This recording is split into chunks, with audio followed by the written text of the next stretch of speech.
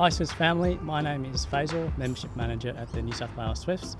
We're here today at Ken Rosewall Arena to give you a really quick demonstration on how to find your seats on game day.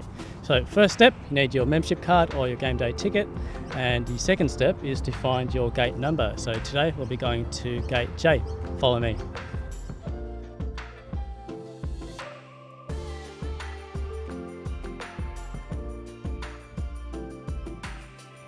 Okay, we've just come through gate J and the next step is to find your aisle number. So outside gate J we saw there was aisle number J1, J2 and J3. If your aisle number ends in a 1, that means you're heading downstairs into the lower bowl. But if your aisle number ends in a 2 or 3, you're heading upstairs into the upper bowl. So on my membership card it says I'm heading to J2, so follow me.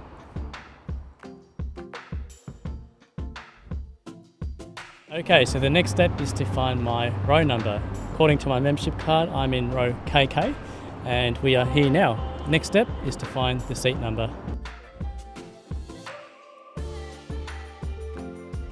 Okay, I'm here at my seat number 142. It's nice and easy.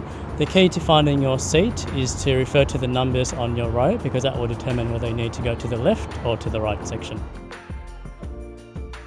Okay, so it's easy as that to find your seats, but if you do have any issues, there's plenty of us around to help. We can't wait to see you at game day. Go the Swifts.